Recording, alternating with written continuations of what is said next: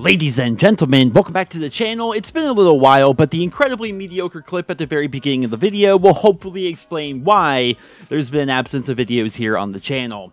I don't know what came over me, but I randomly got the motivation to finish up Dark Matter here in Black Ops Cold War. Before this past week or so, I had assault rifles, submachine guns, and shotguns finished, but I still had a super long way to go, and I decided just to grind like 4 to 8 hours a day to finish up everything, and man, was it painful. I didn't play Modern Warfare, so I can't really speak as to how difficult Damascus camo was. Hopefully some of you guys can fill me in down there in the comment section. But here in Black Ops Cold War, some of these challenges are just sheer pain. Like 50 long shots with the Thumper, which mind you, the long shot range for the Thumper is the same as a light machine gun. So that was painful. We had to destroy three different vehicles in the game in 10 different games, and let me tell you how nobody drives vehicles here in Black Ops Cold War. I shit you not, I spent the past six hours last night floating in the sky in Fireteam Dirty Bomb with Engineer on, waiting for anybody to jump into a snowmobile or a tank, right? That's pretty much all I did for like five straight hours just to do those challenges on the RPG and the Thumper. That was painful. It was easy on the Cigma because, of course, you can lock on, but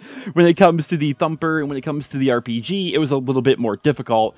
That was not fun whatsoever. The knife sliding kills were really annoying randomly. You would think it'd be easy, but for some reason here in Black Ops Cold War, you lose all of your aim assist while you're close to somebody, so sliding at them makes it so you basically can't hit them. And then best of all, I had to get Dark Matter twice.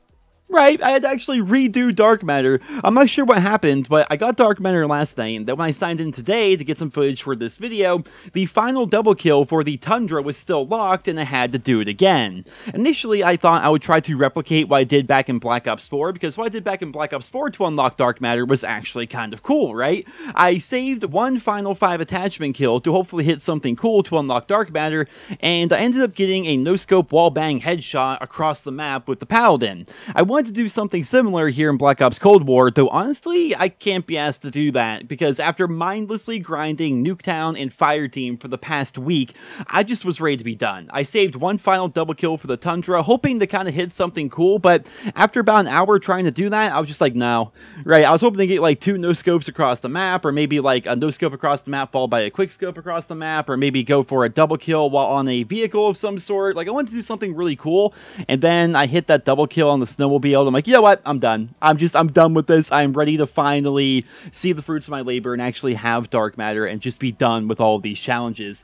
And fun fact, for some reason, if you build your sniper rifle for hipfire, it appears that your crosshairs are incredibly close together while riding on a vehicle. So perhaps the sniping community is already aware of that, but if not, if none of you guys are aware of that, well, now you know, and maybe some really cool stuff can be hit as a result of that information. But overall, I'm just really happy to be done. I have seen some people say that dark matter is not worth it in this game because they think it's not that good looking, but I think it's because most people actually prefer the classic Black Ops 3 version of Dark Matter that we can get in zombies.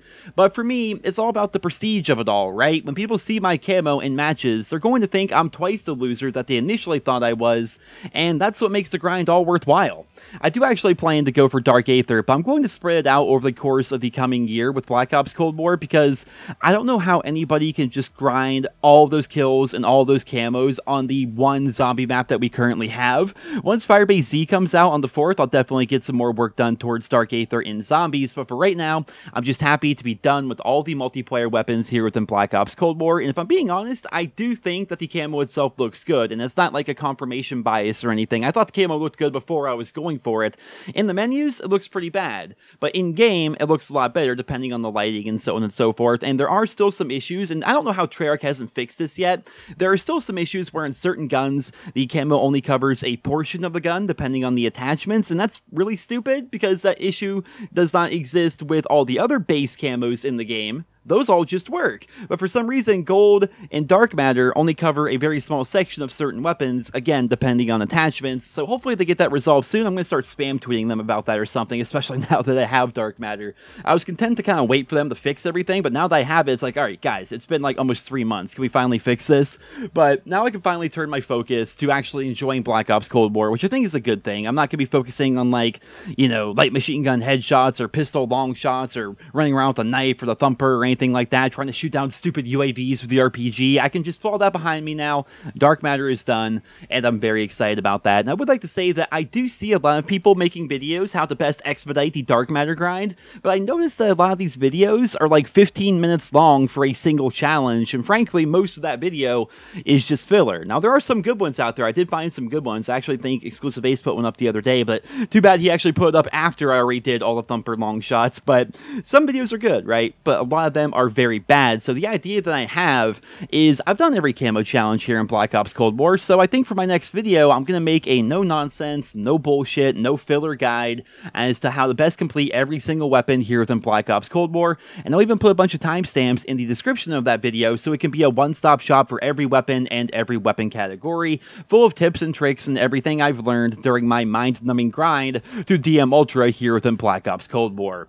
Well, ladies and gentlemen, I think that pretty much is going to do it for this short little update video. I just wanted to explain the absence of videos and live streams here on the channel, and now that Dark Matter is finally done, we're going to be going back to normal. I expect videos on the normal schedule going forward, and expect live streams to happen pretty much every single night like they were before over on Twitch. If you guys haven't checked out the Twitch channel, I highly recommend it. We stream pretty much every single night, and it's always a pretty chill time, so hope to see you guys over there tonight. But once again, expect a full Dark Matter guide to go up here on the channel soon, but until then, I hope you guys all enjoyed this video. If you did, consider leaving a like. Thank you all so much for listening, and I hope you guys all have a wonderful day.